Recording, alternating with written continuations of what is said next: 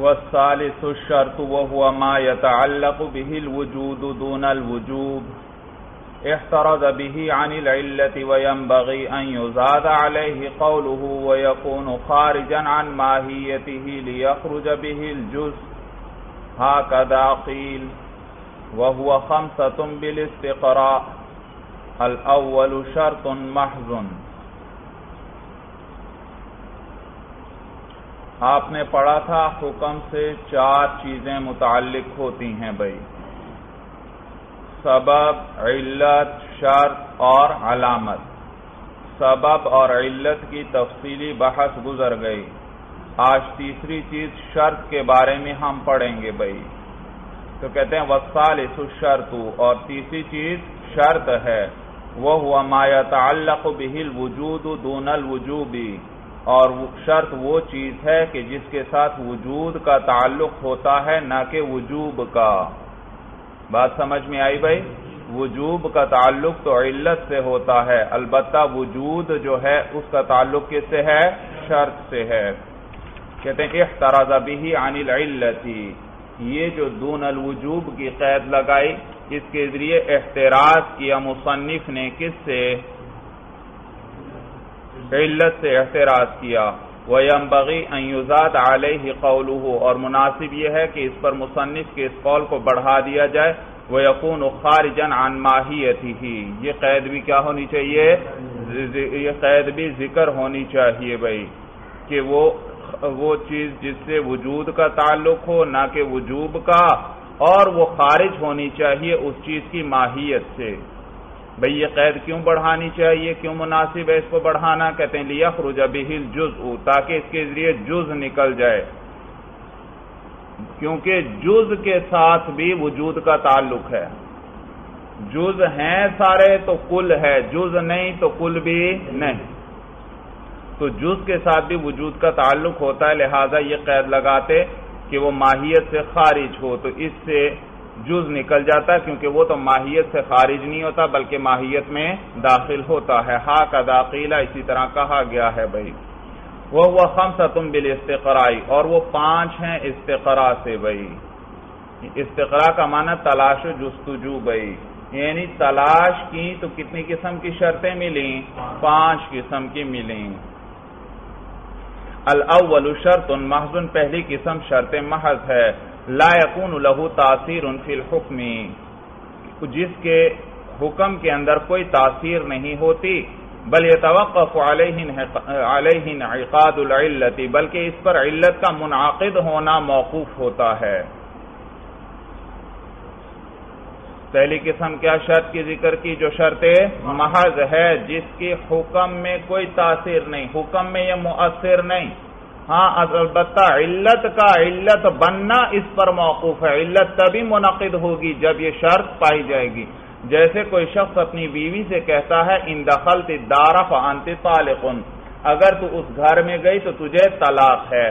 اب فانت طالقن اس سے کیا کرتی ہے؟ طلاق۔ لیکن اس وقت طلاق نہیں آئے گی۔ جب تک وہ شرط نہ پائی جائے تو شرط نے علت کا منعقد اس کی شرط کی وجہ سے علت منعقد ہو گئی، ہو جائے گی۔ جب وہ گھر میں جائے گی تو یہ انت تعلق منعقد ہو جائے گا اور عورت کو کیا ہو جائے گی؟ طلاق۔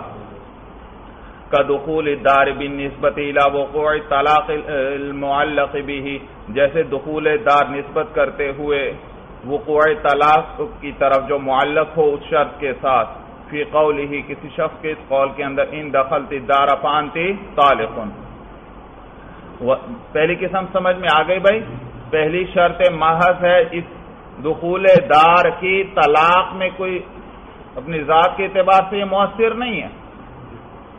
کوئی بھی عورت اس گھر میں جائے تو کیا طلاق ہوتی ہے؟ نہیں، مؤثر نہیں۔ لیکن یہاں پر خامن نے معلق کیا ہے طلاق کو اس کے ساتھ۔ تو طلاق کے واقع ہونے کے اندر اب یہ یہ یہ طلاق کا واقع ہونا اس پر کیا ہو جائے گا؟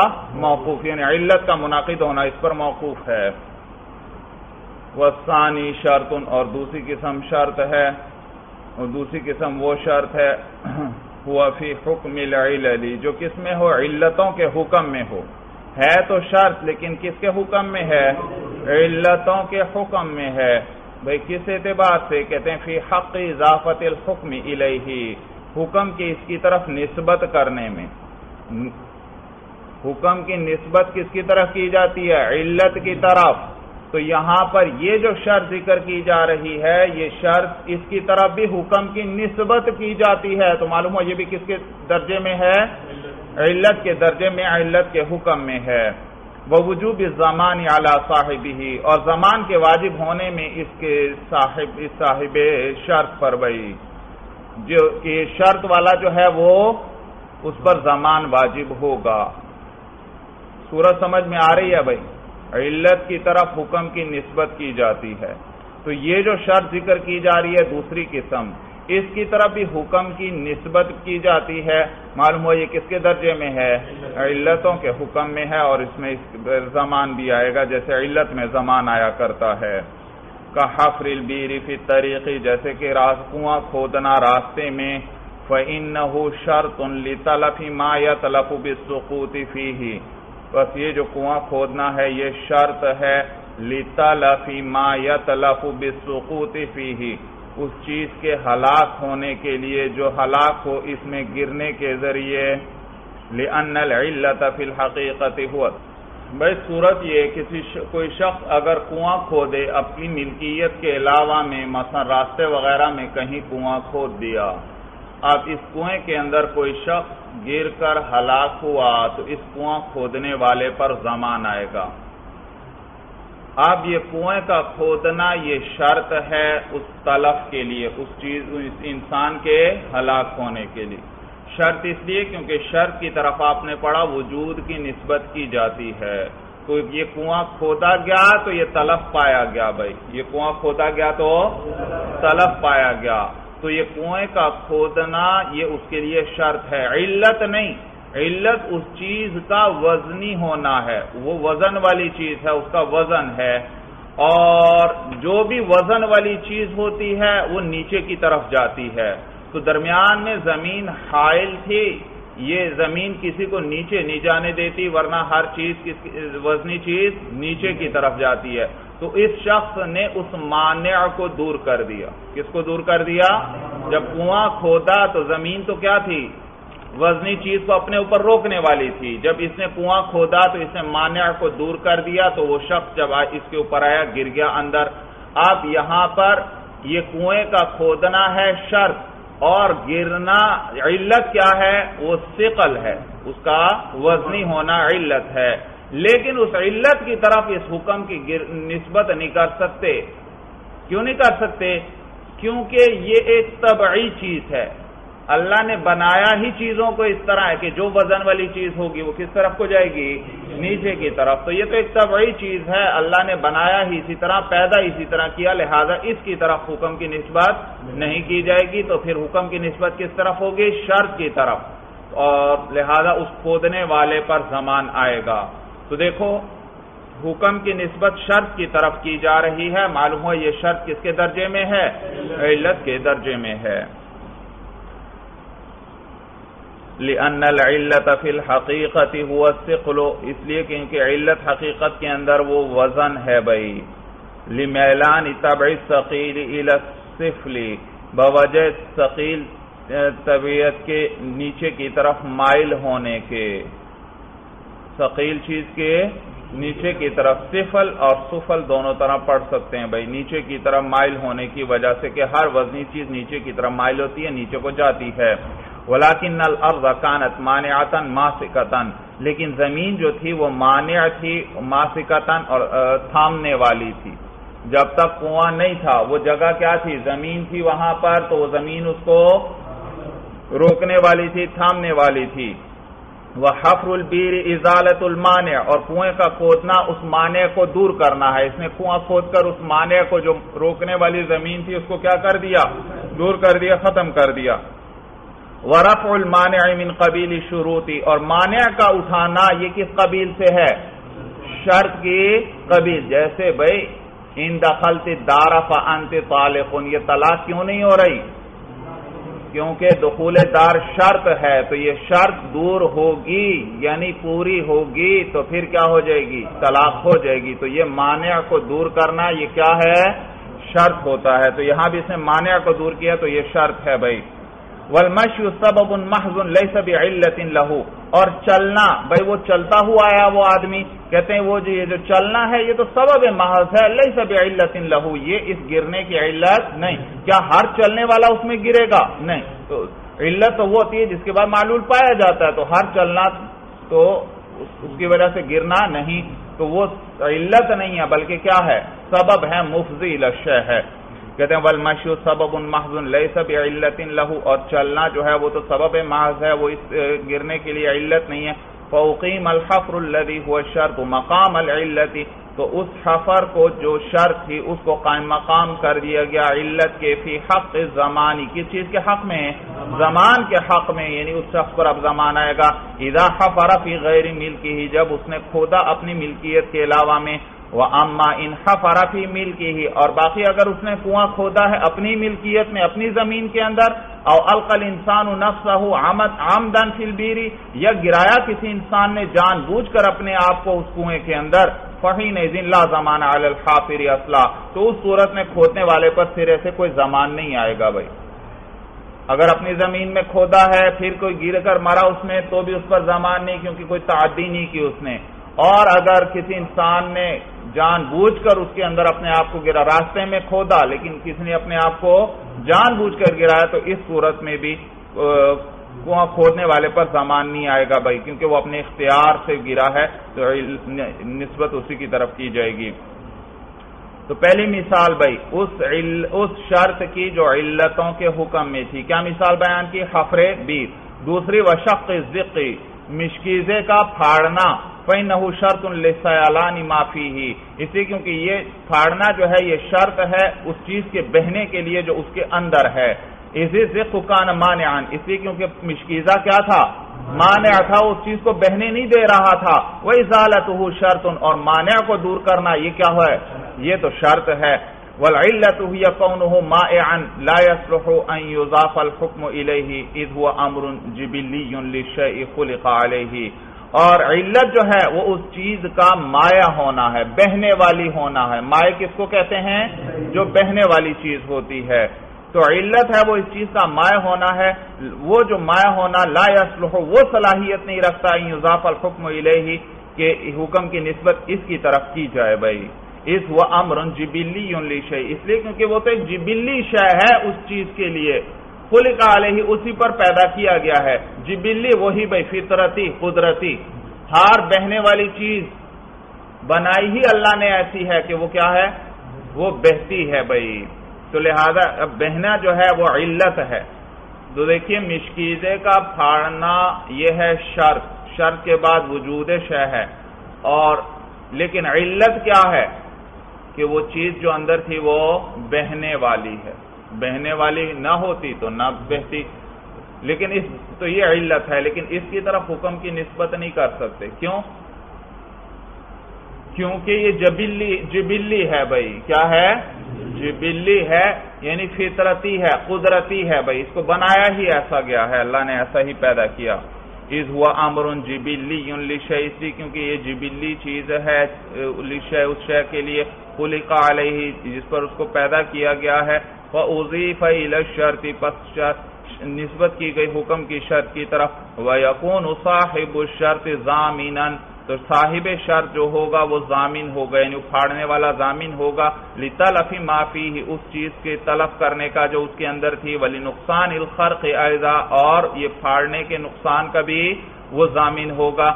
وَالصَّالِشُ شَرْطٌ لَهُ حُکْمُ الْأَسْبَابِ۔ اور تیسری قسم وہ شرط ہے کہ جو اس کے لیے اسباب کا حکم ہے۔ کس کے حکم میں ہے جو؟ اسباب۔ پہلی شرط محض تھی۔ دوسری قسم وہ شرط جو کس کے حکم میں علت کے حکم میں، تیسری وہ شرط جو سبب کے حکم میں ہے۔ وہ کون سی شرط ہے؟ کہتے ہیں وہ ہوا شرط الذي يتخلل بينه وبين المشروط فاعل، فعل فاعل مختار۔ وہ شرط ہے کہ بیچ میں آئے اس شرط کے وبین المشروطی اور شرط اور مشروط کے درمیان کیا ہے؟ فعل فائل مختار۔ ایک فائل مختار کا فیل ایک اپنے اختیار سے فیل کرنے والے کا فیل بیچ میں آئے۔ ایک ہے شرط اور ایک ہے مشروط۔ شرط اور مشروط کے درمیان کیا آئے گا؟ فائل مختار کا فیل جو اپنے اختیار سے فیل کرنے والا ہے۔ سورج سمجھ میں آ گئی بھائی؟ جیسے ابھی مثال گزری۔ کنویں کا کھودنا ہے شرط۔ انسان کا اس میں ہلاک ہونا یہ ہے حکم۔ اور علت کیا تھی درمیان میں؟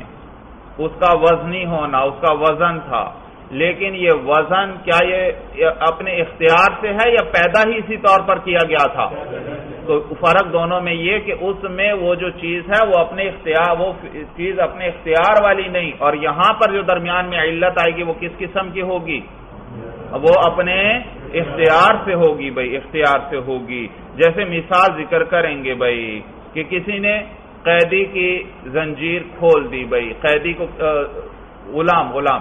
ایک شخص نے اپنے غلام کو باندھ کر رکھا تھا، دوسرا آیا، اس نے اس کی زنجیر کھول دی اور غلام بھاگ گیا۔ تو زنجیر کا کھولنا ہے شرط اور غلام کا بھاگنا، غلام کا بھاگنا ہے حکم بھائی اور درمیان میں علت کیا ہے؟ غلام کا اپنا فیل غلام کا اس کا فیل ہے، وہ بھاگا تو بھاگا ہے۔ تو یہاں درمیان میں کیا آیا؟ فیل اختیاری آیا بھائی سورج سمجھ میں آ گئی بھائی دیکھیے آگے تفصیل آ رہی ہے بھائی تو کہتے ہیں، وہ شرط جو اسباب کے حکم میں ہو وہ شرط الدی تخل بین ہو بین المشروط فعل فعل مختاری وہ شرط ہے کہ اس کے اور مشروط کے درمیان فعل فعل مختار یعنی ایک مختار فائل کا فعل ہے لا يكون ذلك الفعل منصوبا الى ذلك الشرط اور وہ فعل جو ہے، وہ منصوب نہ ہوتا ہو اس شرط کی طرف. وَيَكُونُ ذَلِكَ الشَّرْطُ سَابِقًا عَلَى ذَلِكَ الْفِعْلِ. اور وہ شرط جو ہے، وہ مقدم ہونی چاہیے اس فعل پر. شارح نے تعریف کر دی بھائی۔ کون سی قسم چل رہی ہے وہ شرط جو کس کے درجے میں ہے؟ سبب کے درجے میں۔ شارح نے بتلایا وہ کون سی شرط ہے؟ بتلایا جہاں پر شرط اور مشروط کے درمیان فائل مختار کا فیل آئے اور نیز اس فیل کی نسبت شرط کی طرف نہ کی جاتی ہو اور نیز وہ شرط جو ہے اس فیل پر مقدم ہو۔ تین چیزیں ذکر کر دیں، اس کے اندر تینوں چیزیں ہونا ضروری۔ پہلی چیز کیا؟ درمیان شرط اور مشہور کے درمیان کیا ہے؟ فائل مختار کا فیل آئے۔ دوسری چیز کیا؟ کہ اس فیل کی طرف، اس فیل کی نسبت، اس شرط کی طرف نہ کی جاتی ہو۔ اور تیسری بات کہ وہ شرط کیا ہے؟ اس فیل پر مقدم بھی ہو۔ تو کہتے ہیں وہ تو رضا بھی اور احتراج کیا گیا اس کے ذریعے۔ یہ جو قید ہم نے ذکر کی نا فائل مختار والی، تین قیدیں ذکر کی نا، تو پہلی قید جو فائل مختار والی ذکر کی احتراج کیا اس کے ذریعے۔ اما اذا تخلل فعل فائل طبیعین کہ جب بیچ میں کس قسم کے فائل کا فیل آئے فائل طبیعی کا فیل طبعی یہ طبیعی وہی مانا بھائی، جبلی اور طبعی بھائی۔ قدرتی فائل کا فیل آئے بھائی، جو طبعی ہو، کا حفر البیری۔ کا حفر جیسے کنویں کا کھودنا۔ یہ شرط تھا۔ درمیان میں کیا آیا تھا؟ کس قسم کا فیل آیا تھا؟ جو اپنے اختیار سے تھا یا قدرتی تھا؟ قدرتی تھا۔ تو اس سے احتراج کیا بھائی۔ فین فی حکم علی کیونکہ یہ کس کے حکم میں ہے؟ یہ علتوں کے حکم میں ہے۔ وہ اما اضاکان ادالک الفعل منصوباً الاداکلی کا شرطی اور احتراج کیا اضاکان ذالک الفعل، کہ جب اس فعل جو ہے منصوباً الادال کا شرطی جب اس کی نسبت کس کی طرف کی جائے؟ بھائی تین قیدیں ذکر کی تھی پہلی قید ذکر کی تھی فائل مختار کا فیل درمیان میں آئے، تو حفر بیر نکل گیا، کیونکہ درمیان میں فائل مختار کا فیل نہیں۔ دوسری کی شرط کیا ذکر کی تھی؟ دوسری قید. اس فیل کی نسبت شرط کی طرف نہ کی جاتی ہو۔ تو اس قید کے لیے احتراج کیا۔ جب وہ فیل منسوخ اس شرط کی طرف اس کی نسبت کی جاتی ہو، ہم نے تو کہا نسبت نہیں ہونی چاہیے۔ تو جس وہ نکل گیا جس میں نسبت کی جاتی ہے، کا فتح بابی قفص تیری جیسے کہ کھولنا پرندے کے پنجرے کا دروازہ۔ قفص کسے کہتے ہیں؟ پنجرا پرندے کے پنجرے کا دروازہ کھولنا اس تیران ہوں منصوب نیل الفتح، کیونکہ یہ پرندے کا اڑنا اس دروازہ کھولنے کی طرف منصوب۔ تو دروازہ کھولنا ہے شرط۔ اور پرندے کا اڑنا جو ہے، یہ اس کے یاد رکھیے، اس میں آگے آپ کو بتائیں گے۔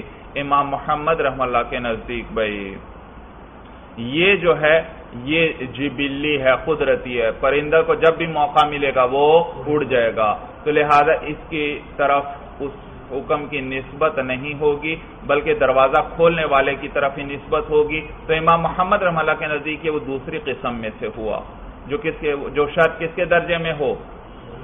علتوں کے حکم میں ہو تو اس کی طرف حکم کی نسبت ہوتی ہے اور اس پر زمان آئے گا۔ جبکہ شیخین رحمہ اللہ فرماتے ہیں کہ نہیں، یہ پرندے کا اڑنا اپنے اختیار سے ہے۔ تو درمیان میں کیا گیا؟ فائل مختار کا فیل لہذا دروازہ کھولنے والے کی طرف نسبت نہیں اور اس پر زمان بھی نہیں۔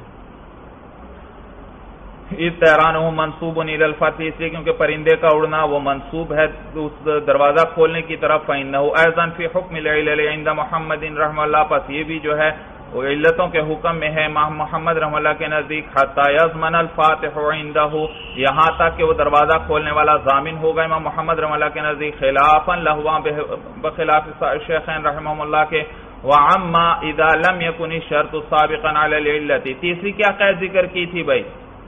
کہ وہ شرط فیل پر مقدم ہو۔ کہتے ہیں، اور اس کے ذریعے احتراز کیا۔ ادالم دیکھیے، یہ عامہ دو، تین آئے۔ وہ پہلے عامہ آیا تھا۔ اخترزا بھی عامہ اسی پر عاطف ہے۔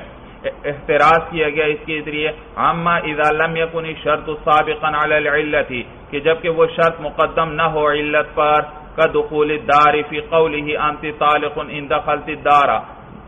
جیسے کہ دخول دار ہے کسی شخص کے، اس قول کے اندر تجھے طلاق ہے اگر تو اس گھر میں داخل ہوئی۔ اس ہوا مؤخر عن تکلمی قوله انت طالق اس لیے کیونکہ یہ دخول دار جو ہے مؤخر ہے، اس شخص کے اس قول سے، اس تکلم سے انت سے مؤخر ہے۔ اور ہم نے کیا کہا؟ یہ تیسری قسم میں شرط کو مقدم ہونا چاہیے اس فیل پر۔ اور وہاں پر انت طالقن مقدم تھا یا دخول دار مقدم ہے؟ انت طالقن کہنا مقدم اور دخول دار؟ ان دخلت دار انت طالقن اگر تو اس گھر میں گئی تو تجھے طلاق ہے۔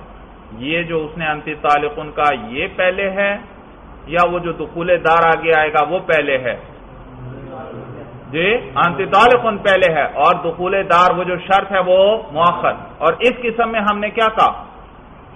شرط کو مقدم ہونا چاہیے اور یہ جو دخول دار ہے یہ شرط تو مؤخر ہے، تو اس قسم کی شرط سے احتراج کیا بھائی۔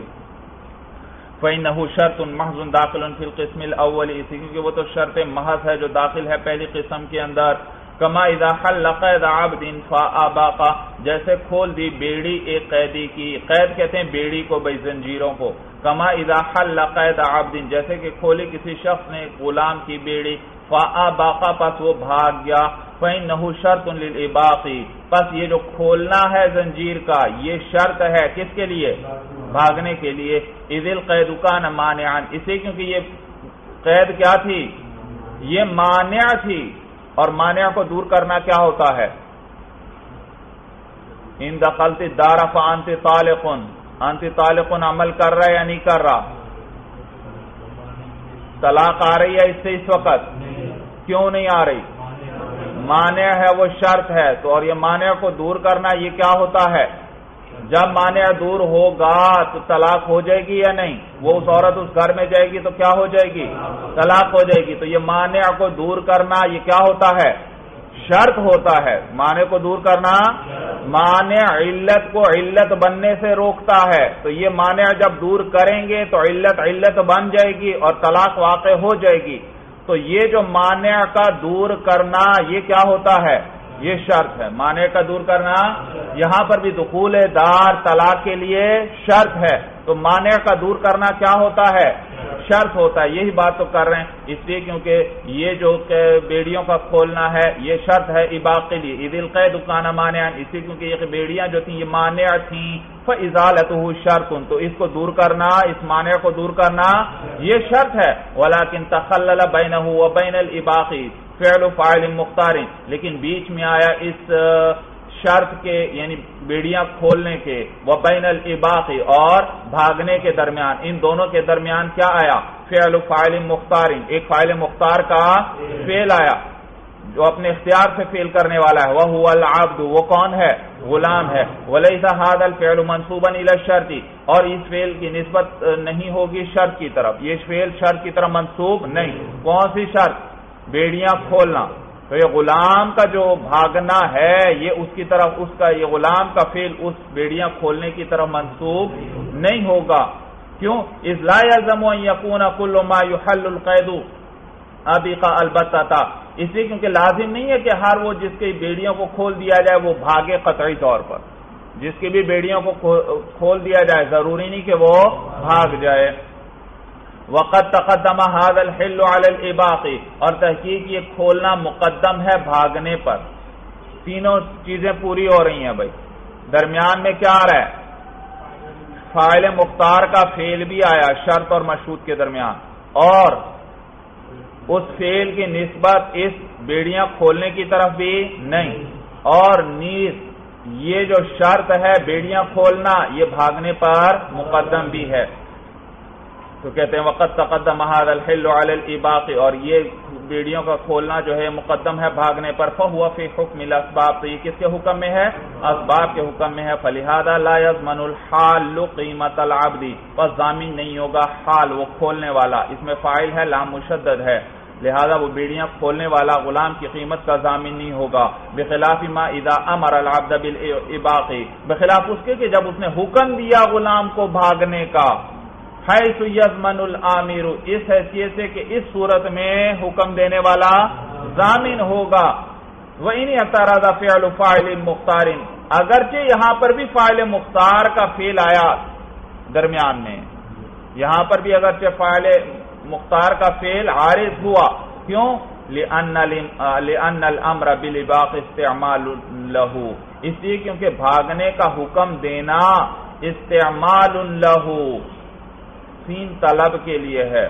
اس سے غلام سے عمل کو طلب کرنا ہے۔ غلام سے عمل کو طلب کرنا ہے۔ فضا اباقا بھی امر ہی پس جب وہ اس کے حکم سے بھاگ گیا فکن غصب بل استعمالی تو گویا کہ اس حکم دینے والے نے اس کو غصب کر لیا بل استعمالی عمل طلب کرتے ہوئے۔ اس سے عمل طلب کرتے ہوئے اسے عمل طلب کر رہے ہیں نا کہ بھاگ جاؤ۔ تو لہذا یہاں زمان آئے گا۔ بخلاف ما اذا كانت الواسطه متخلله مضافتن الى السبب۔ بخلاف اس کے کہ جبکہ وہ واسطہ جو بیچ میں آیا ہے مضافتن الى السبب، اس کی نسبت کس مضافتن الى السبب، اس کی نسبت کس کی طرف کی جاتی ہو؟ بھئی یہاں شرط تھی، شرط اور مشروط کے درمیان کیا آیا؟ فائل مختار کا فیل آیا۔ اور اس فیل کی نسبت شرط کی طرف نہیں۔ جبکہ سبب میں آپ نے پڑھا تھا، سبب کی ایک قسم وہ تھی، وہ جیسے جانور نے چلتے ہوئے کسی کو تلف کر دیا اور ایک کوئی ہانکنے والا یا اس کو آگے سے لے جانے والا موجود تھا، تو یہاں پر جانور تو مجبور ہے جب اس کو ہانکا یا چلایا جائے گا، وہ تو چلے گا بھائی۔ تو لہذا اگرچہ وہاں پر بھی تلف اور ہانکنے کے درمیان جانور کا فیل ہے، لیکن اس جانور کے فیل کی نسبت کس کی طرف کی جاتی تھی؟ اس سبب کی طرف۔ اور یہاں پر جو فائل مختار کا فیل ہے، اس کی نسبت سبب کی طرف نہیں، تو دونوں میں یہ فرق ہے، وہی بیان کر رہے ہیں۔ کہتے ہیں، بخلاف ما اذا كانت الواسطه المتخلله مضافه الى السبب، بخلاف اس کے جبکہ وہ واسطہ جو بیچ میں آیا، اس کی طرح نسبت کی جاتی ہے، سب، وہ اس کی نسبت کی جاتی ہے سبب کی طرف۔ فانه يضمن صاحب السبب۔ تو اس میں ضامن ہوگا وہ سبب والا کا سوق الدابه وقودها، جیسے کہ جانور کا ہانکنا اور اس کو آگے سے لے جانا۔ اذ فعل الدابه وهو تلف مضاف الى السائق اس لیے کیونکہ جانور کا جو فعل ہے، وہ اور وہ طلب کرنا ہے، وہ طلب ہے، وہ مضاف ہے ہانکنے والے کی طرف اور آگے سے لے جانے والے کی طرف۔ فیض منان اما طلف بحافت یہ دونوں ضامین ہوں گے اس چیز کے جو اس جانور سے طلب ہوا۔ بھائی ور رابع چوتھی قسم، شرط اسمن جو شرط ہو بے اعتبار اسم کے لا حکم نہ کے حکم۔ بھائی، پہلی قسم شرط کی تھی جو شرط محض ہے۔ جیسے وہ دخول دار تھا۔ دوسری قسم تھی وہ شرط جو کس کے حکم میں؟ علتوں کے حکم میں۔ تیسرا، تیسری وہ، تیسرا وہ تیسری وہ شرط جو سبب کے حکم میں ہو۔ اب چوتھی قسم آ گئی۔ کہتے ہیں وہ چوتھی قسم وہ شرط ہے جو اسمن شرط ہو، حکمن شرط نہ ہو۔ جی صورت یہ مثلا بھائی، ایک شخص اپنی بیوی سے کہتا ہے اگر تو اس گھر میں گئی اور اس گھر میں گئی تو تجھے طلاق ہے۔ دو گھروں کی طرف اشارہ کیا۔ اگر تو اس گھر میں گئی اور اس گھر میں گئی تو تجھے طلاق ہے۔ تو یہاں پر شرط طلاق کے لیے ایک گھر میں جانا ہے یا دو گھروں میں جانا؟ دو گھروں میں جانا۔ اب یہ جو پہلے گھر میں جائے گی، یہ ہے چوتھی قسم۔ طلاق کے لیے شرط ہے نا دونوں میں جانا۔ دونوں میں سے جو پہلے جو شرط پائی گئی، ان میں سے۔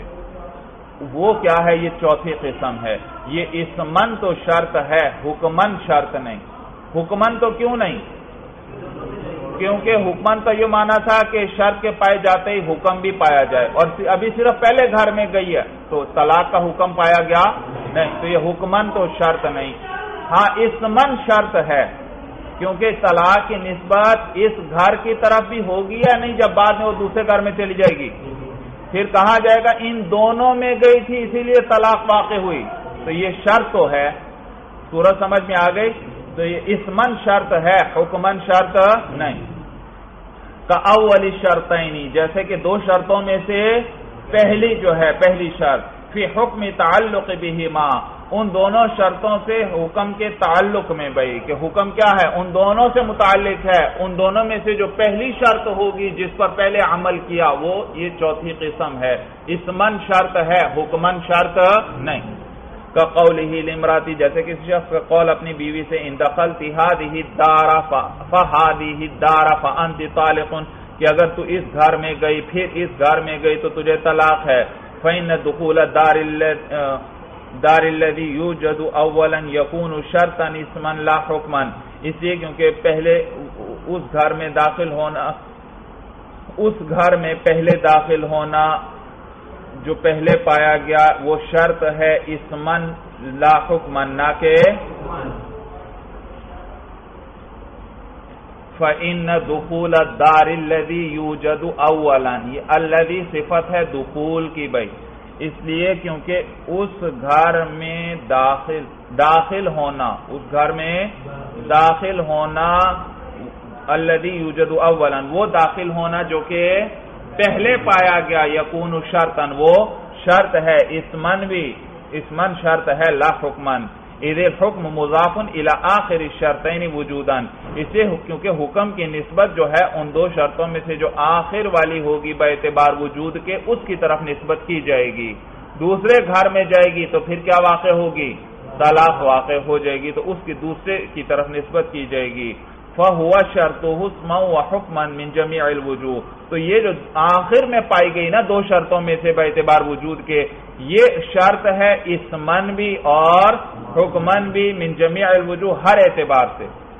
دوسرے گھر میں جائے گی تو کیا ہو جائے گی؟ طلاق۔ تو حکمن بھی یہ شرط، کیونکہ اس کے فوراً بعد کیا آیا؟ طلاق آ گئی، حکم آ گیا۔ اور اسمن بھی شرط ہے، کیونکہ اس کی طرف طلاق کی نسبت بھی ہے۔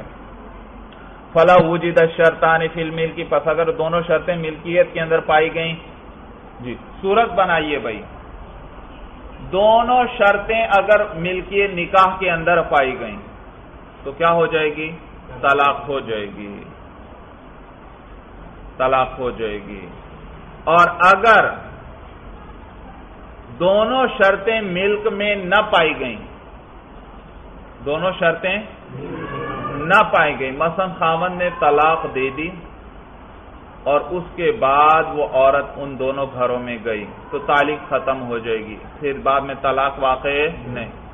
یا ملکیت کے اندر پہلے نکاح تھا، وہ ایک گھر میں چلی گئی۔ ابھی دوسرے میں نہیں گئی تھی کہ خامن نے کیا کیا۔ اس کے بعد وہ دوسرے گھر میں گئی۔ تو دونوں صورتوں میں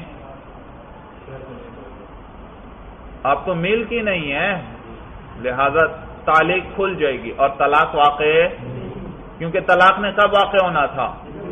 جب دوسرے میں جائے، پہلے میں تو وہ نکاح میں تھی، دوسرے میں تو نکاح میں ہی نہیں ہے۔ لہذا اب جزا نازل نہیں ہوگی۔ سورج سمجھ میں آگے۔ کہتے ہیں وہ علم فلا وجید شرطان فی کی اگر دونوں شرطیں ملکیت میں پائی گئیں بھی ان بقیت منقوحتن لہو عند وجودہما بئی طور کہ وہ منقوحہ ہو کر باقی تھی۔ عند وجودہما، عند، ان دونوں شرطوں کے پائے جاتے ہوئے، وہ منقوحہ ہی تھی اس خامن کی۔ فلا شک کا نہ ينزل الجزا، تو پھر اس بات میں کوئی شک نہیں کہ جزا نازل ہوگی۔ وہ علم یو جدا فل ملک اور اگر یہ دونوں شرطیں ملک میں نہ پائی گئیں بھائی کیا دے چکا تھا وہ مثلا؟ طلاق۔ دونوں ہی ملک کے بعد پائی گئیں۔ اور وجد الاول فی الملک دونوں ثانی یا پہلی تو ملکیت میں پائی گئی، پہلے گھر میں تو وہ نکاح کے اندر ہی گئی۔ اور نہ کہ دوسرے میں وہاں بعد میں گئی طلاق کے بعد۔ فلا شکا فلا شکا نہ ینزل الجزا تو اس بات میں کوئی شک نہیں کہ جزا نازل نہیں ہوگی۔ وین وجدستانی فی الملک دون الاولی اور اگر دوسری ملک میں پائی گئی، اس کا عکس کرو۔ پہلی خامن نے تعلیق کر دی اور اس کے بعد کچھ عرصے بعد خامن نے طلاق دے دی۔ ابھی وہ عورت ایک بھی گھر میں نہیں گئی۔ طلاق دینے کے بعد اب وہ ایک عورت اس ایک پہلے گھر میں چلی گئی۔ دوسرے میں ابھی بھی نہیں گئی۔ تو تعلیق کھلی ہے ابھی؟ تعلیق تو ابھی بھی موجود ہے۔ پھر خامن نے اس سے نکاح دوبارہ کر لیا۔ اب وہ دوسرے گھر میں گئی۔ تو اب یاد رکھیے طلاق واقع ہو جائے گی بھائی۔ کیونکہ اب شرط پوری ہوئی۔ اور جب شرط پوری ہوئی، اس وقت تو نکاح موجود ہے، لہذا طلاق واقع ہو جائے گی۔ معلوم ہوا کہ تعلیق کے وقت ملکیت ہونی چاہیے یعنی منقوحہ ہونی چاہیے۔ اور دوسری شرط کے پائے جاتے وقت کیا ہونی چاہیے؟ ملکیت ہونی چاہیے۔ بھائی، درمیان میں ملکیت بے شک ختم بھی ہو جائے، اس سے کوئی اثر نہیں پڑتا۔ تو کہتے ہیں وہ ان وجیدہ ثانی فی المل کی دون الاولی اور اگر دوسری شرط جو ہے وہ پائی گئی ملکیت کے اندر، نہ کہ پہلی بھی ان ابانہ بئی صورت جگہ جگہ یہ با آ رہا ہے، جس کو با تصویریہ کہتے ہیں، جس کی یہ صورت بیان کی جاتی ہے بھائی۔ سمجھ میں آیا؟ جس کا ترجمہ میں کس سے کرتا ہوں؟ بئی صورت کے۔ یا یوں کہیں کہ اس کی صورت یہ ہے کہ بھی ان ابان کہ جدا کر دیا اس کو خاون نے، فدخلت دار الاولا تو وہ داخل ہوئی کس کے اندر؟ پہلے گھر میں۔ تو دیکھو، پہلی شرط پائی گئی عدم ملک میں۔ سم تزوجہا، پھر خامن نے اسے کیا کر لیا؟ نکاح کر لیا۔ فدخلت دارستانیہ تھا تو پھر وہ دوسرے گھر میں داخل ہوئی۔ ینزل الجزا تو کیا ہوگی؟ جزا نازل ہوگی۔ و اور طلاق والی ہو جائے گی عندنا ہمارے نزدیک۔ لأن المدار على آخر الشرطین اسی کیونکہ دار و مدار کس پر تھا؟ دو شرطوں میں سے جو آخر والی تھی اس پر تھا۔ والملک انما يحتاج الیہ فی وقت التعلیلی اور ملکیت جو ہے انما يحتاج الیہ اس کی حاجت ہوتی ہے فی وقت التعلیق۔ کس وقت؟ تعلیق کے وقت۔ وفی وقت نزول الجزا اور جزا کے نازل ہوتے وقت وہ اما فیما بین نظالی کا فلا، اور باقی ان دونوں کے درمیان میں یعنی تعلیق اور نزول جزا کے درمیان کے زمانے میں، تو اس میں ملکیت کی ضرورت نہیں۔ صورت سمجھ میں آ رہی ہے بھائی؟ وائند ظفر رحم اللہ لاتت لوکو امام ظفر رحم کے نزدیک طلاق نہیں ہوگی اس صورت میں۔ کون سی صورت پہلی شرط غیر ملک میں ہوئی۔ آدم ملک کی صورت میں خاون نے طلاق دے دی تھی۔ اب اس کے بعد وہ پہلے گھر میں چلی گئی۔ پھر اس کے بعد نکاح کر لیا اب دوسرے میں گئی۔ تو ہمارے نزدیک طلاق ہو جائے گی۔ امام ظفر رحم اللہ کیا فرماتے ہیں؟ طلاق نہیں۔ ہوگی۔ کیوں؟ لیا نہ ہوئی عقیص شرط الآخر الاولی وہ قیاس کرتے ہیں آخر والی شرط کو پہلی پر بھائی۔ آخری شرط کو کس پر قیاس کرتے ہیں؟ بھائی دیکھیے۔ ملکیت نکاح کے ہوتے ہوئے عورت پہلے گھر میں گئی۔ پھر خامن نے طلاق دے دی اور عدم ملکیت کی صورت میں وہ دوسرے گھر میں گئی۔ تو پہلے میں جانے پر طلاق ہوئی تھی؟ نہیں۔ تو امام، پہلی ملکیت میں ہو اور دوسری نہ ہو تو طلاق واقع تو امام ظفر فرماتے ہیں جیسی پہلی کے اندر طلاق نہیں ہوتی تھی، اسی طرح ملکیت میں صرف دوسری پائی جائے تو وہ بھی، اس میں بھی طلاق نہیں ہوگی۔ کہتے ہیں لیا یقیس الشرط الآخرہ علی الاولی اسی کیونکہ وہ آخری شرط کو قیاس کرتے ہیں اول پر۔ ازلاو کان الاول یوجد فی الملک دون الاخری اسی کیونکہ اگر پہلی شرط جو ہے وہ ملکیت کے اندر پائی گئی نہ کہ دوسری، لا تطلقو تو اسے بالاتفاق طلاق نہیں ہوگی۔ فقضا عکسہو تو اسی طرح اس کا عکس بھی ہے کہ اگر پہلی ملک میں نہ پائی گئی اور دوسری ملک میں پائی گئی تو بھی طلاق نہیں ہوگی۔ والخامس شرط ہوا کل علامت الخالصتی اور پانچویں قسم وہ شرط ہے جو علامت خالصہ ہو، خالص علامت ہو گئی کل احسان فی زنا جیسے کہ احسان ہے زنا کے اندر، محسن ہونا، شادی شدہ ہونا بھائی، کہ جیسے کہ احسان فی زنا جو زنا میں شرط للرجمی یہ شرط ہے کس کے لیے؟ رجم، سنسار کرنے کے لیے، فی مان العلامتی، اور یہ کس معنی میں ہے؟ علامت کے معنی میں ہے، وقد وقد عدو هذا تارتن فی الشرط و تارتن فی العلامت علامہ سیجیو اور تحقیق علماء اس کو شمار کرتے ہیں۔ کبھی تو کس کے اندر؟ شرط میں شمار کرتے ہیں وطارتن فی العلامتی اور کبھی علامت میں شمار کرتے ہیں، بنا پر اس کے جو قریب آ جائے گا، جیسے وہ بیان کریں گے۔ وَلِذَا لَمْ يَعُدَّهُ صَاحِبُ التَّوْضِحِ مِنْ هَذِهِ الْأَقْسَامِ۔ اور اسی وجہ سے صاحب توضیح نے اس کو ان اقسام میں شمار نہیں کیا بھائی، کیونکہ یہ علامت محض ہے۔ ثم انہم بینوا ضابطتا یعرف بها الفرق بین الشرط وما فی معناه۔ پھر علماء نے بیان کیا، وہ ضابطہ جس کے لیے جانا جائے گا فرق کو شرط کے اندر، شرط اور وما فی معناه، جو شرط کے معنی میں ہے۔ صورت سمجھ میں آ گئی بھائی؟ وہ معافی معنی ہو اور جو علامت کے معنی میں ہے۔ بھائی آگے ضابطہ بیان کریں گے۔ انہوں نے یہ شرط پانچویں جو ذکر کی، کہا یہ علامت ہے دراصل۔ علماء، بعض نے اس کو کیا کہا؟ بعضوں نے اس کو، بعض اس کو شرط میں شمار کرتے ہیں۔ بعض کس میں شمار کرتے ہیں؟ علامت کے اندر۔ اسی لیے صاحب توضیح نے اس کو شمار ہی نہیں کیا یہاں پر، کیونکہ بعضوں نے اس کو کیا شمار کیا ہے؟ علامت شمار کیا ہے اور یہ تو بات شرطوں کی چل رہی ہے۔ اب کیسے پتا چلے گا ہمیں کسی چیز کے بارے میں کہ وہ شرط ہے یا علامت ہے؟ تو اب اب ضابطہ بیان کرنے لگے ہیں۔ سمجھ میں آیا بھائی؟ کہ یہ مانا ہے سم بینو ضابطتن پھر علماء نے بیان کیا، ایسا ضابطہ یعرف بحل فرق جس کے ذریعے فرق کی پہچان ہوگی بین شرطی و معافی مانا ہو شرط کے درمیان، اور وہ جو وہ جو علامت کے معنی میں ہے علامہ قال، بنا برس کے جو مصنف نے فرمایا کہ انما یعرف شرط بصیغتی ہی کہ شرط کو جانا جائے گا اس کے سیغے ہی کے ذریعے۔ شرط کا پتہ کس سے چلے گا؟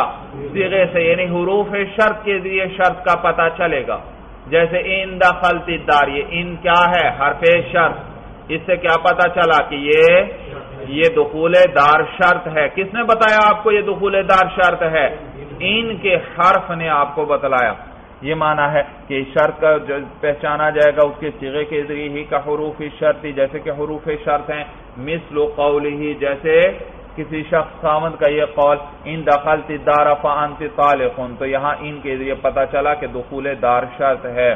وفی ہی تمبی اور یہ جو ماتن ان نما لے کر آئے نا ان نما یورف شرط بصیغت اس میں اس بات پر تنبی ہے اعلیٰ ان سیغت شرطی لا فقوان معنی شرطی کہ سیغ شرط وہ کبھی بھی معنی شرط سے جدا نہیں ہوتا بھائی۔ کبھی بھی؟ بھائی انہوں نے کیا بتلایا؟ شرط کی پہچان کس سے ہوگی؟ سیغ شرط سے۔ کس سے؟ معلوم ہوا سیغ شرط جب بھی آئے گا، کیا آ جائے گا؟ مان ہے، کیونکہ سیغ شرط سے تو پہچان ہو رہی ہے۔ تو جس جب پہچان، تو جب بھی سیغ شرط آئے گا، معلوم ہوا کیا جائے گا؟ مان شرط آئے گا۔ اور دلالتی ہی، یا کس کے ذریعے پہچان ہوگی شرط کی؟ دلالت کے ذریعے۔ وہی الوصف الذي يكون في معنی شرطی، اور یہ وہ وصف ہے جو شرط کے معنی میں ہو۔ حرف شرط تو نہیں، لیکن ایسا وصف آیا جو کس کے معنی میں ہے؟ شرط کے معنی میں ہے۔ تو یہ دلالت کے اعتبار سے پتا چل گیا شرط کا۔ قول ہی جیسے کسی شخص کا یہ قول، المرأة التي اتزوجها طالق ثلاثا، وہ عورت جس سے میں نکاح کروں طالق ثلاثا، اسے تین طلاق۔ کوئی شخص یوں کہتا ہے، فَإِنَّهُ بِمَانَ شرطی یہ کس معنی میں ہے؟ یہ شرط کے معنی میں ہے دلالتن کس اعتبار سے؟ دلالت کی، بھائی دیکھو، ان وغیرہ کوئی حرف شرط تو نہیں آیا۔ لیکن یہ جو اس کا قول ہے، المرأة التي اتزوجها طالق ثلاثا، یہ دلالت کے اعتبار سے کس معنی میں ہے؟ شرط ہی کے معنی میں ہے۔ کیوں بھائی؟ کہتے ہیں وقوع الوصف فی النکرتی، بوجہ وصف کے واقع ہونے کے نکرہ میں بھائی۔ التی اتزوجها یہ صفت آ گئی کس کی؟ المرأة کی، تو نکرہ کی صفت آ گئی اور نکر تو لہذا یہ شرط کے درجے میں۔ نکرہ کی کیا آ گئی؟ صفت۔ آپ کے ذہن میں اشکال آئے گا۔ المر یہ نکیرا تو نہیں، یہ تو معرفہ ہے۔ اور التی اتزوجہا یہ صفت بھی معرفہ ہے۔ تو یہ تو معرفہ کی صفت آ رہی ہے۔ اور مصنف کیا کہہ رہے ہیں؟ کہ نکیرا کی صفت کی وجہ سے یہاں پر شرط کا معنی آ گیا۔ شرط کا بھائی دیکھیے، آپ نے پڑھا ہے، کبھی مبتدا متضمن ہوتا ہے معنی شرط کو تو اس کی خبر پر فا کا لانا جائز۔ اور وہ دو قسم کے مبتدا ہیں۔ ایک وہ مبتدا جو نکرا ہے اور اس کی صفت فیل یا ظرف۔ ہو اس کی صفت فیل یا ظرف ہو۔ کلو رجولیں یا اتینی فلح درہمن یا کلو رجولن فداری فلاح درہم۔ تو کلو رجولن نکرا ہے اور اس کی صفت یا اطینی فیل آیا یا اس کی صفت فدار ظرف آیا۔ تو یہ متضمن ہوا کس کو؟ معنی شرط کو، لہذا اس کی خبر فلاح درہم پر فا داخل کرنا جائے تو یہ دراصل مبتدا ہے۔ فا کو دیکھ کر آپ شرط اور جزا نہ بنانا شروع کر دیں۔ یہ مبتدا اور خبر ہیں۔ ہاں لیکن یہ خبر پر فا کیوں آئی؟ کیونکہ مبتدا میں کون سا معنی تھا؟ شرط والا۔ اور وہ کون سا مبتدا تھا؟ نکرا جس کی صفت فیل آئے یا نکرا جس کی صفت ظرف آئے۔ اسی طرح وہ اس میں موصول، وہ مبتدا جو اس میں موصول ہو اور اس کی اس کا سلا فیل یا ظرف ہو، وہ بھی متضمن ہوتا ہے معنی شرط کو، لہذا اس کی خبر پر بھی فا کا لانا جائز۔ جیسے الدی یا اتینی فلاح درہمن یا الدی فدار فلاح درہمن بھائی۔ تو معلوم ہوا نکرا کی صفت آ جائے تو وہ متضمن ہوتا ہے معنی شرط کو۔ لیکن یہاں پر تو یہ نکرا کی صفت نہیں آئی بھائی، یہ تو معرفہ ہے المرأت الفلام اس پر داخل ہے۔ شارح آپ کو بتلائیں گے کہ جب اس کے ذریعے کسی معین کی طرف اشارہ نہیں کیا گیا تو یہ بھی نکرہ کے درجے میں ہوا۔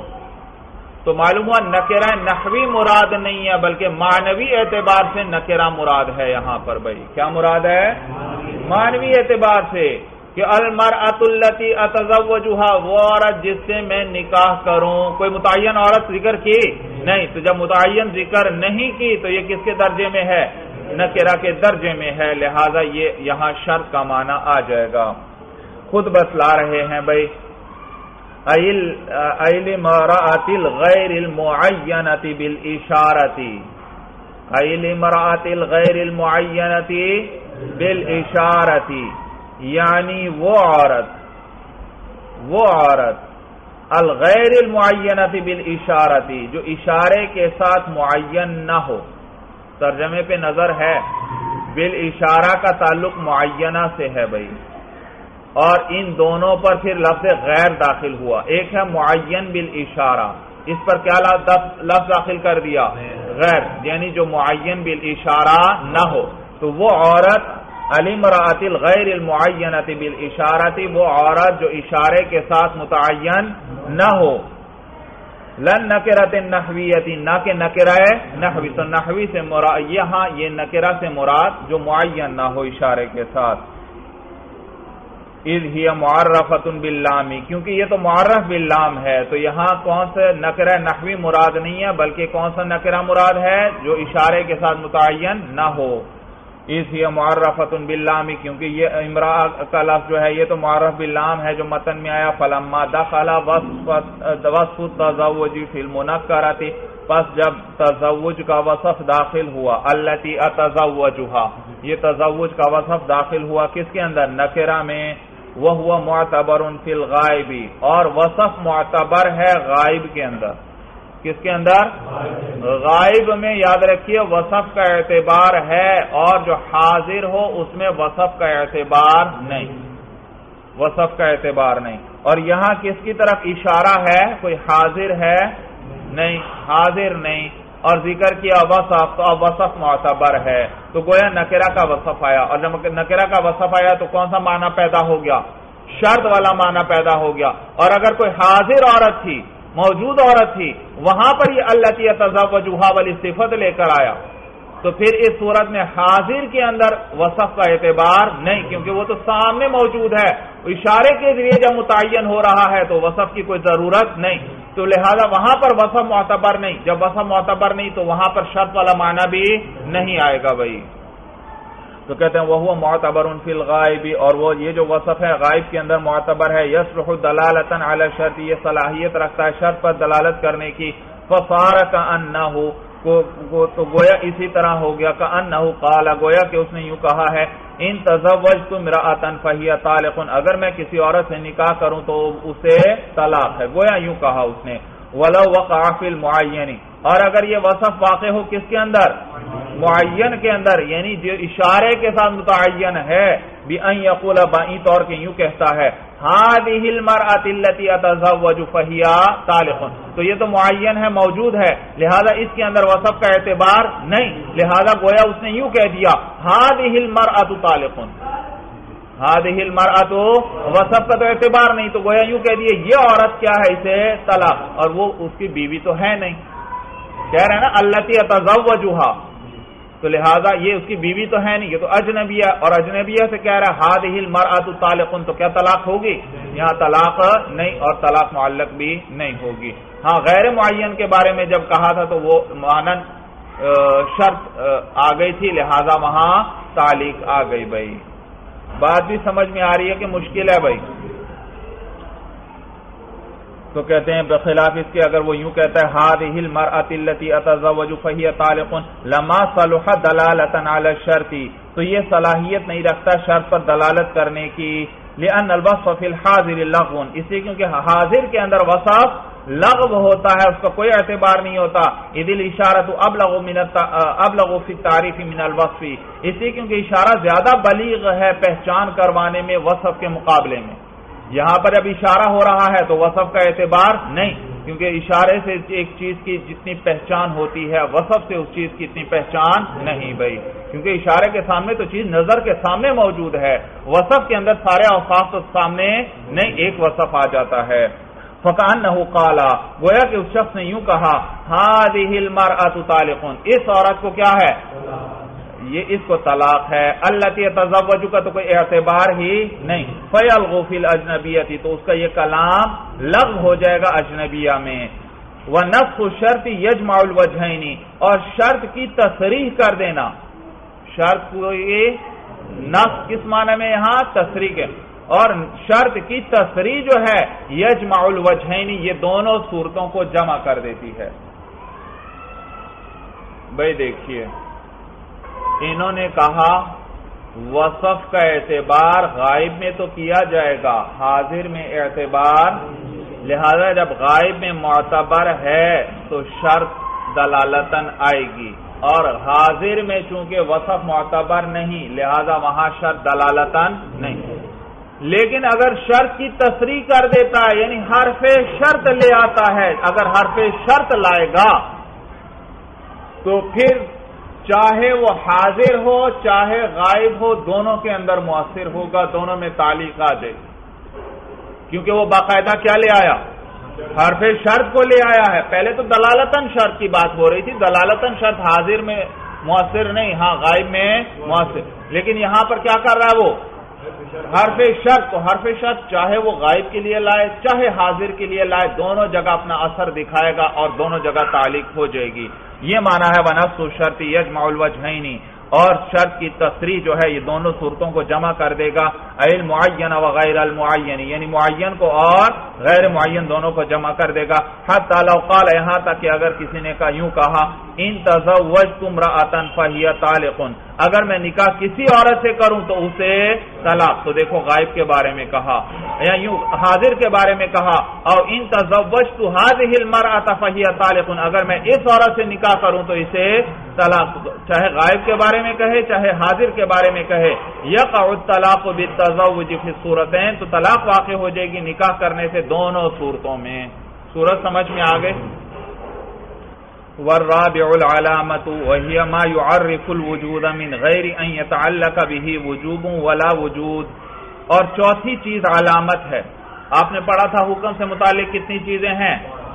چار چیزیں متعلق ہیں حکم سے۔ نمبر ایک، سبب۔ نمبر دو، علت۔ نمبر تین، شرط۔ نمبر چار، علامت۔ اب علامت کا بیان کرنے لگے ہیں۔ تو کہتے ہیں ورابع العلامت اور چوتھی چیز جو ہے وہ علامت ہے وہی اما یعرف الوجود، یہ وہ چیز ہے جو وجود کی پہچان کرواتی ہے۔ صرف کیا کرتی ہے؟ وجود کی صرف پہچان کرواتی ہے، من غیر ان يتعلق به وجوب ولا وجود، بغیر اس کے کہ اس کے ساتھ تعلق ہو وجوب کا اور وجود کا۔ بھائی، فقوله ما يعرف الوجود، احتراز عن السبب۔ پس جو ماتن کا قول ہے نا، ما يعرف الوجود، جو وجود کی پہچان کرواتی ہے، احتراز عن السبب۔ یہ احتراز ہے کس سے؟ سبب سے۔ سبب نکل گیا اس قید کے ذریعے۔ اس ہوا مفت لا معرف۔ کیونکہ سبب جو ہوتا ہے وہ چیز تک پہنچانے والا ہوتا ہے، پہچان کروانے والا نہیں۔ وقوله من غیر ان يتعلق به وجوب۔ اور ماتن نے کہا نا کہ بغیر اس کے کہ اس کے ساتھ وجوب کا تعلق ہو، کہتے ہیں احتراز عنانی العلتی اس کے ذریعے احتراز ہوا کس سے؟ علت سے، کیونکہ علت کے ساتھ کس کس کس چیز کا تعلق ہوتا ہے؟ وجوب کا۔ تو انہوں نے کہا وجوب کا تعلق نہ ہو تو کیا نکل گئے علت۔ ولا وجود ان احتراز عنانی شرطی اور لا وجود کی جو قید ہے، اس کے ذریعے احتراز ہے کس سے؟ شرط۔ کیونکہ شرط کے ساتھ کس چیز کا تعلق ہوتا ہے؟ وجود کا۔ اور انہوں نے کہا اس میں وجود کا بھی تعلق نہ ہو تو یہ شرط بھی نکل گئی، تو صرف علامت رہ گئی۔ کل احسان فی باب زینا جیسے کہ محسن ہونا ہے باب زینا میں فین نہ علامت الرجمی کیونکہ یہ رجم کی علامت ہے۔ بھائی، احسان کہتے کس کو ہیں؟ تعریف کر رہے ہیں۔ کہتے ہیں وہ ہوا عبارت عن کون الزانی حرم مسلما مکلفا وطی بنکاح صحیح مرتن کہ احسان وہ عبارت ہے عن کون الزانی حرن کہ وہ زنا کرنے والا آزاد ہو مسلمن مسلمان ہو مکلفن مکلف ہو یعنی عاقل بالغ ہو۔ احکام کا مکلف کون ہے بھائی؟ عاقل بالغ، تو عاقل بالغ ہو۔ اور وط یا بھی نکاح صحیح مرتن اور اس نے صحبت کی ہو نکاح صحیح کے ساتھ ایک مرتبہ۔ نکاح صحیح کے ساتھ اور نیز اس کی جو بیوی جس سے اس نے صحبت کی، اس میں بھی یہ شرطیں پائی جائیں۔ یعنی وہ بھی آزاد ہو، وہ بھی مسلمان ہو، وہ بھی عاقل بالغ ہو۔ اور اس نے اس کے ساتھ نکاح صحیح کیا۔ تو پھر احسان ثابت ہوگا۔ معلوم ہوا اگر ایک شخص کی بیوی ہے، لیکن وہ اہل کتاب میں سے ہے، عیسائی یا یہودی، تو یہ شخص محسن نہیں، کیونکہ یہ شخص آزاد بھی ہے، مسلمان بھی ہے، عاقل بالغ بھی ہے، نکاح صحیح بھی کیا ہوا ہے۔ لیکن بیوی کیا ہے؟ اس کے اندر بھی یہ شرطیں تھیں۔ اور وہ تو مسلمان نہیں، لہذا یہ محسن نہیں بھائی۔ سورج سمجھ میں آ گئی بھائی؟ تو یہ شرطیں بیوی کے اندر بھی ہوں بھائی۔ فت تکلیف ہو تو یہ ہے مولانا احسان بھائی۔ بات احسان سمجھ میں آ گیا بھائی۔ فت تکلیف شرط ان فی سائر الاحکامی بس یہ جو تکلیف یعنی مکلف ہونا ہے، مکلف ہونا، یہ تو شرط ہے تمام احکام میں۔ یعنی عاقل، بالغ ہونا، یہ تو جی یہ تمام احکام میں شرط ہے۔ والحریت لتکمیل العقوبتی اور جو حریت کی قید ہے، یہ سزا کی تکمیل کے لیے ہے تاکہ کامل درجے کی سزا دی جا سکے۔ کیا ہو کامل درجے کی؟ سزا دی جا سکے۔ وہ ان نمل عمدہ تو ہونا اور یہاں پر عمدہ اور اعلیٰ جو ہیں، ان سب شرطوں میں سے جو عمدہ اور اعلیٰ ہیں، ہی الاسلام والوط بن نکاح صحیح۔ ہی وہ اسلام ہے اور وتی ہے بن نکاح صحیح صحیح نکاح کے ساتھ۔ وہ نما جالنا ہو علامتن لا شرطن اور ہم نے اس کو علامت بنایا، نہ کہ شرط۔ ہم نے اس کو علامت قرار دیا، شرط نے قرار دیا۔ کیوں؟ کہتے ہیں زینا ادا تحق اس لیے کیونکہ زینا جب پایا جائے، زنا جب پایا جائے، لا يتوقف انعقاده علتا للرجم۔ ترجمے پہ نظر رکھنا بھائی۔ اس لیے کیونکہ زنا جب پایا جائے، لا يتوقف تو موقوف نہیں ہے۔ کیا چیز موقوف نہیں ہے؟ انعقاده علتا للرجم. اس زنا کا رجم کے لیے علت منعقد ہونا، علت بننا۔ زنا جب پایا جائے، ایک شخص نے زنا کر لیا اور زنا کے بعد پھر اس نے احسان والی شرائط بعد میں پوری کی، بعد میں محسن بنا۔ زنا کے وقت محسن نہیں تھا۔ بعد میں کیا بن گیا؟ محسن بن گیا۔ تو اب دیکھو، زنا بھی پایا جا رہا ہے اور شرط بھی پوری ہو گئی یا نہیں؟ آپ کیا حکم لگائیں گے؟ اس کو رجم کرنا چاہیے یا کوڑے لگانے چاہیے؟ توجہ ہے سبق کی طرف کے نہیں ہے؟ اچھا دیکھو بھائی، ایک شخص نے زنا کیا۔ زنا کرنے کے بعد اس وہ محسن بنا۔ پہلے محسن نہیں تھا، اس کے بعد اس سے نکاح وغیرہ کیا۔ سورج سمجھ میں آ گئی۔ آپ اس شخص کو اگر چار گواہ پیش ہو جاتے ہیں زنا کے بارے میں، آپ کیا کہیں گے؟ اس کو رجم کیا جائے یا کوڑے لگائے جائیں؟ جی شاباش۔ کوڑے لگیں گے ظاہر سی بات ہے، کیونکہ جس وقت زنا کیا تھا، اس وقت تو محسن نہیں تھا۔ محسن تو بعد میں بنا ہے۔ سورج سمجھ میں آ گئی۔ یہی بات بیان کر رہے ہیں یہاں پر۔ کہتے ہیں انا زنا ادا تحق اس لیے کیونکہ زنا جب پایا جائے، بات یہ ذکر کر رہے ہیں نا کہ ہم نے اس کو علامت قرار دیا ہے، شرط قرار نہیں دیا۔ کیونکہ اگر اس کو شرط قرار دیا جائے تو زنا کے بعد محسن ہو جائے تو شرط تو پائی گئی، لہذا اس کو اب کیا کرنا چاہیے؟ رجم کرنا چاہیے۔ حالانکہ رجم تو نہیں کرنا، بلکہ کیا کرنا ہے یہاں پر؟ کوڑے ہی لگانے ہیں، اس لیے ہم نے اس کو شرط نہیں قرار دیا۔ صورت سمجھ میں آ گئی، کیونکہ شرط اگر قرار دے دیں گے تو زنا علت بن جائے گا کس کے لیے؟ رجم کے لیے، حالانکہ یہ زنا، یہ تو علت بن ہی نہیں سکتا، کس کے لیے؟ رجم کے لیے بھائی۔ حالانکہ شرط کے پائے جانے کے بعد علت کا انعقاد ضروری ہوتا ہے۔ جیسے ان دخل دار انت تعلقن دخول دار ہوتے ہی انت تعلقن علت بنے گا یعنی طلاق کے لیے۔ تو شرط بعد میں بھی چاہے پائی جائے، لیکن علت علت بن جاتی ہے اور حکم آ جاتا ہے، لیکن یہاں پر ایسا نہیں۔ لہذا اس کو شرط نہیں کہیں گے، بلکہ کیا کہنا پڑے گا؟ اگر شرط کہتے ہو تو جیسے وہاں پر دخول دار کے بعد انت تعلقن کیا بن جاتا تھا؟ علت بن جاتا تھا کس چیز کے لیے؟ وہ طلاق کے لیے۔ تو یہاں پر بھی اگر اس کو شرط کہیں تو زنا کرنے کے بعد بھی جب احسان پایا گیا تو وہ زنا علت بن جائے گا کس چیز کے لیے؟ رجم کے لیے علت بن جائے گا، کیونکہ شرط پائی جا رہی ہے اور لہذا اب رجم بھی اس کو کرنا چاہیے، لیکن حالانکہ ایسا تو نہیں، اسی لیے ہم نے اس کو شرط نہیں قرار دیا، بلکہ کیا قرار دیا؟ علامت قرار دیا۔ وہ ان نما جالنا ہو علامت لا شرطن اور ہم نے اس کو علامت قرار دیا، نہ کہ شرط لیا زنا ادا تحق اس لیے کیونکہ زنا جب پایا گیا، تو لا توقف انعقاد ہو علت رجمی تو موقوف نہیں ہے، اس کا رجم کے لیے علت ہو کر منعقد ہونا۔ اس زنا کا رجم کے لیے علت ہو کر منعقد ہونا یہ موقوف نہیں ہے۔ اعلی احسانی یحدث بعدہ اس احسان پر جو اس کے بعد پیش آئے، اس کے بعد پیدا ہو گئی۔ ازلا وجد الاحسان بعد زنا اسی کیونکہ اگر احسان زنا کے بعد پایا گیا، لا يثبت بوجوده الرجم، تو اس کے پائے جانے سے رجم ثابت نہیں ہوگا۔ وعدم كونه علتا وسببا ظاهر۔ اور اس کا علت اور سبب نہ ہونا تو ظاہر ہے۔ احسان کا۔ علت اور سبب نہ ہونا تو ظاہر ہے بھائی۔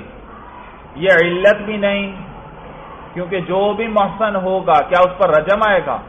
نہیں۔ اور کیا یہ محسن ہونا، یہ مفضی الا رجم ہے؟ تو علت بھی نہیں سبب بھی نہیں، یہ بات تو ظاہر تھی۔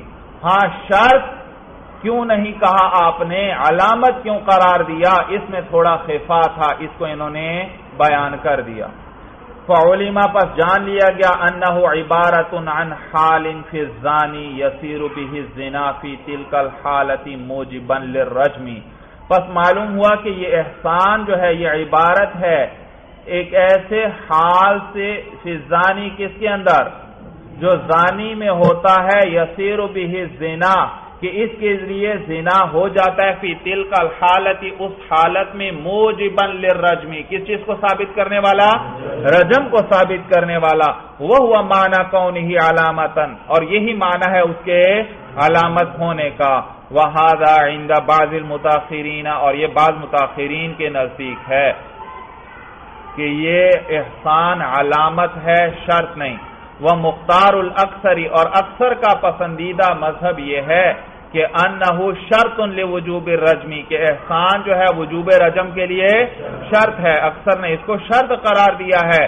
لأن شرط ما يتوقف علیہ وجود الحکمی اس لیے کیونکہ شرط وہ چیز ہوتی ہے جس پر حکم کا وجود موقوف ہوتا ہے۔ شرط کسے کہتے ہیں؟ حکم کا وجود موقوف ہوتا ہے۔ اور جب احسان ہے تو رجم آئے گا یا نہیں زنا کے اندر؟ رجم آئے گا زنا کے اندر بھائی۔ تو کہتے ہیں لیا شرط مایا توقف علیہ وجود الحکم اسے کیونکہ شرط وہ ہے جس پر حکم کا وجود موقوف ہوتا ہے۔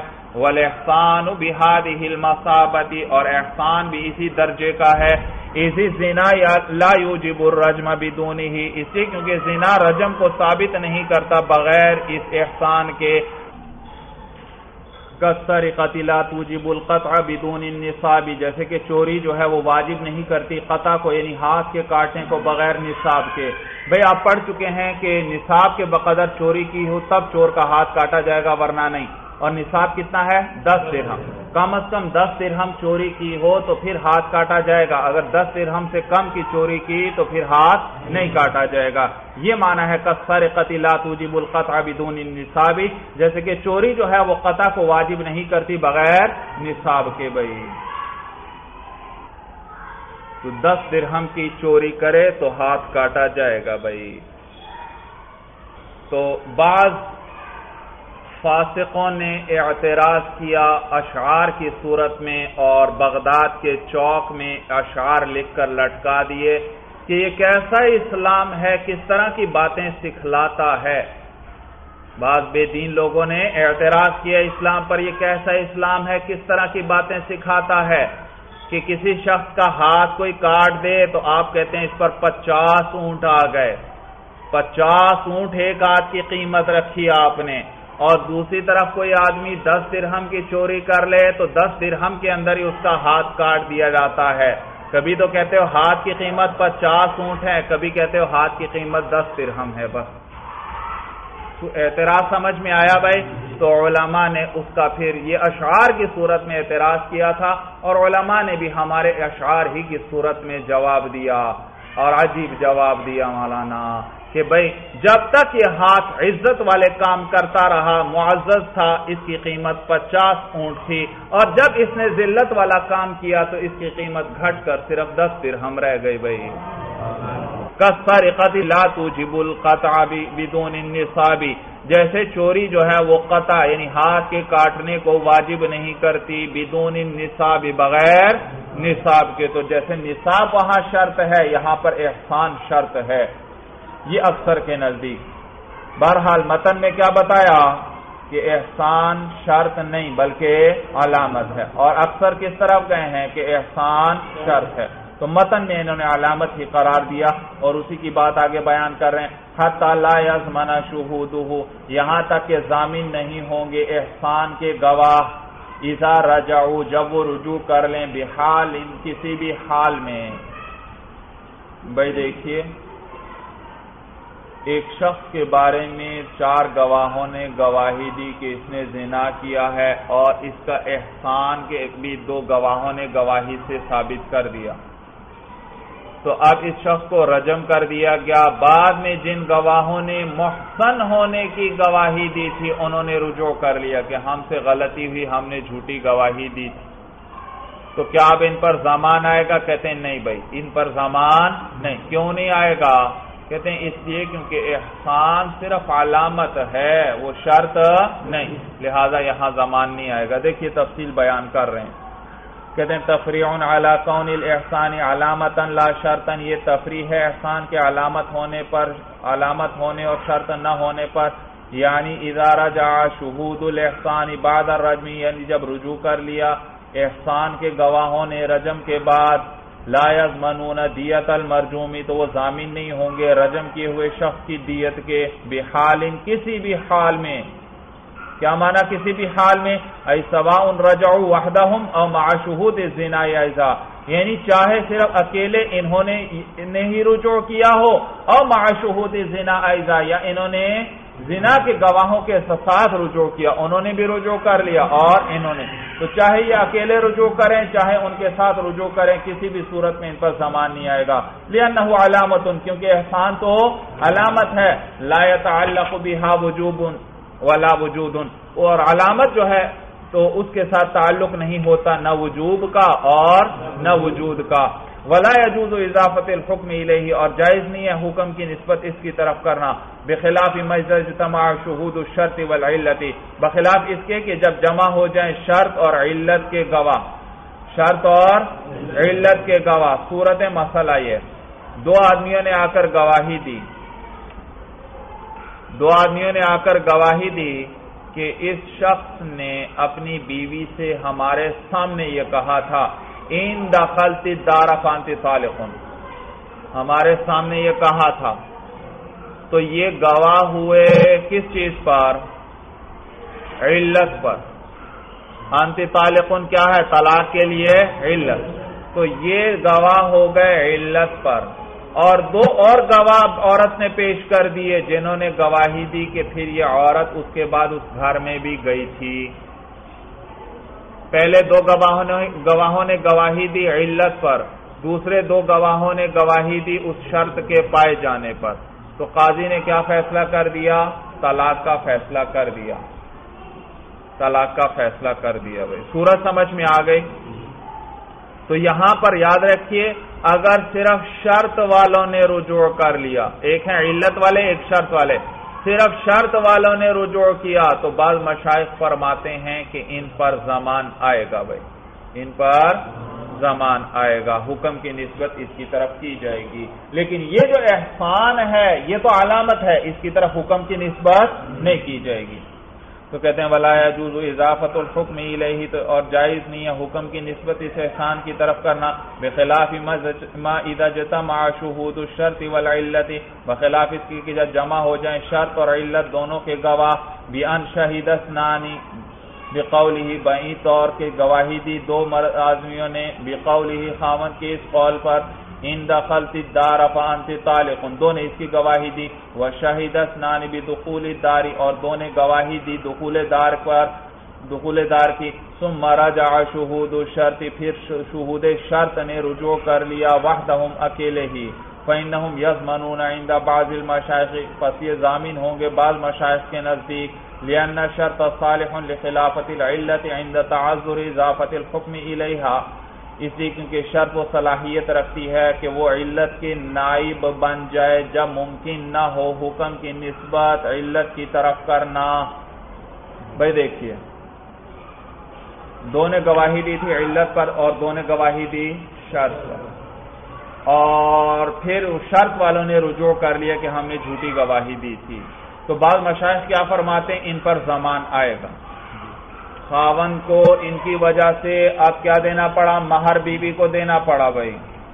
سورت سمجھ میں آ گئے نصف مہار والی صورت بنا لیں بھائی۔ تو لہذا اب ان پر زمان آئے گا۔ سورت کس میں بنائی؟ نصف صحبت سے پہلے والی صورت بناؤ۔ کیونکہ صحبت کر چکا ہے، پھر تو صحبت کی وجہ سے مہر پکا ہو چکا۔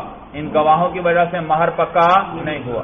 ہاں صحبت سے پہلے اگر طلاق دے تو خامن پر نصف مہر آتا ہے، لیکن وہ نصف مہر بھی ہو سکتا ہے وہ بھی نہ آئے بھائی، کہ ہو سکتا ہے عورت مرتد ہو جائے تو وہ نصف، تو اس صورت میں بھی نکاح ٹوٹ جائے گا، لیکن اس کا سبب کون بنی؟ عورت، لہذا اب نصف مہر بھی اس کو نہیں ملے گا۔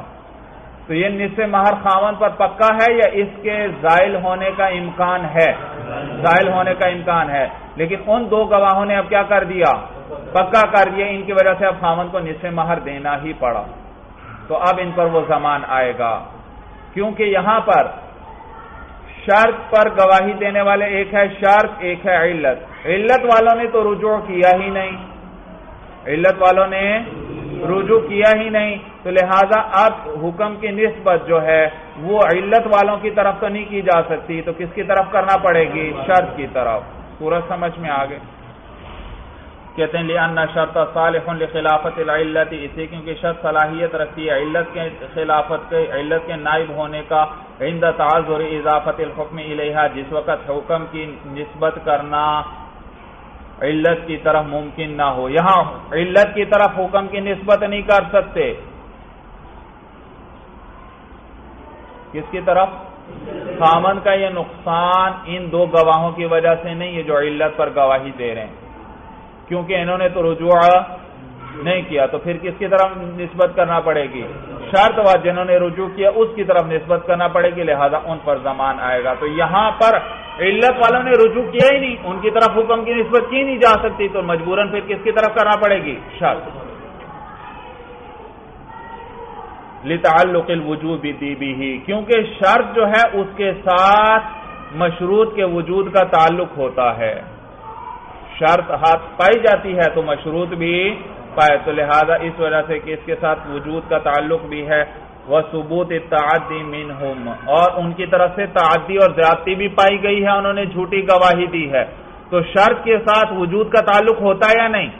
وجود کا تعلق بھی ہوتا ہے شرط کے ساتھ اور انہوں نے زیادتی بھی کی ہے۔ لہذا شرط کی طرف نسبت کی جائے گی اور ان گواہوں پر زمان آئے گا بھائی۔ وہ ہوا مختار فخر الاسلامی، اور یہ مختار ہے علامہ فخر الاسلام کا، وہ فرماتے ہیں زمان آئے گا۔ وائند شمس العمت لا زمان علیہم۔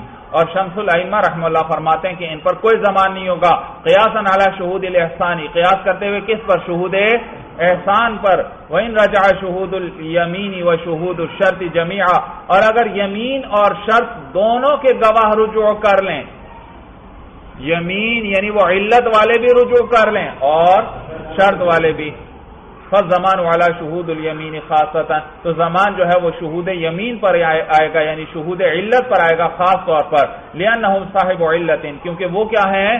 علت والے ہیں۔ فلا يضاف الطلف الى شہود شرطی بس شہود شرط کی طرف طلب کی نسبت نہیں کی جائے گی، مع وجود ساتھ شہود یمین کے پائے جاتے۔ جب شہود یمین موجود ہے تو شہود شرط کی طرف طلب کی نسبت نہیں کی جائے گی۔ وائند ظفر رحم اللہ اور امام ظفر رحم اللہ کے نزدیک شہود الحسان ادارہ زمین دیت المرجومی۔ کہ شہود احسان جب رجوع کر لیں اکیلے تو زمین دیت المرجومی۔ تو وہ ضامین ہوں گے اس رجم کیے ہوئے شخص کی دیت کے۔ شہود احسان اگر رجوع کر رہے ہیں، جنہوں نے صرف احسان محسن ہونے کی گواہی دی تھی، تو وہ دیت کے ضامن ہوں گے اس مرجوم کی۔ زہابن اس بات کی طرف جاتے ہوئے علانہ شرط ان کی، یہ کیا ہے احسان؟ بعضوں نے تو متن میں تو کیا بتلایا؟ احسان علامت ہے۔ لہذا یہ رجوع کر بھی لیں تو ان پر سامان نہیں۔ امام ظفر رحم اللہ فرماتے ہیں کہ یہ احسان شرط ہے۔ تو لہذا جب یہ رجوع کر لیں اکیلے، تو ان کے پر زمان آئے گا، اس کی دیت اس پر آئے گی کیونکہ ان کی وجہ سے اس کی جان چلی گئی۔ شرط اس بات کی طرف جاتے ہوئے کہ یہ شرط ہے۔ ول جواب اور جواب یہ ہے کہ ان احسان علامت، ان کے احسان تو کیا ہے؟ علامت ہے۔ لا تصلح للخلافتی، وہ نائب ہونے کی صلاحیت نہیں رکھتی۔ بولا ان سلمنا، اور اگر ہم تسلیم کر لیں کہ انہو شرط، ان کی یہ شرط ہے۔ فلا یجوز اضافت الحکم الہی تو بھی حکم کی نسبت اس کی طرف کرنا جائز نہیں ہے. لہنا شہود العلت وہی الزنا صالحۃ للاضافتی اس لیے کیونکہ علت کے گواہ جو ہیں، علت کیا ہے؟ زنا. کیونکہ زنا کے جو گواہ ہیں صالحۃ للاضافتی وہ نسبت کرنے کی صلاحیت رکھتے ہیں، فلم یب قلی شرط اعتبار لہذا شرط کا کوئی اعتبار باقی نہ رہا اضلاع اعتبار خلفی عند امکان العمل بالاصل اس لیے کیونکہ خلف یعنی نائب کا کوئی اعتبار نہیں ہے جب اصل پر عمل ممکن ہو۔ اگر ہم تسلیم بھی کر لیں کہ یہ شرط ہے اور یہ نائب ہے، کس سے؟ اصل سے۔ جب یہ اصل سے نائب یہ بھی ہم تسلیم کر لیں، لیکن پھر بھی جب تک اصل پر عمل ممکن ہو، نائب پر کی طرف حکم کی نسبت نہیں ہوتی، لہذا اصل جو زنا کے گواہ ہیں، وہ ان پر تو زمان آ سکتا ہے، وہ رجوع کر لیں، لیکن احسان کے گواہ رجوع کر لیں تو ان پر زمان نہیں آئے گا۔ بھائی چلیے، بس بھائی ہادہ المرام اللہ عالم بھی حقیقت الکلام۔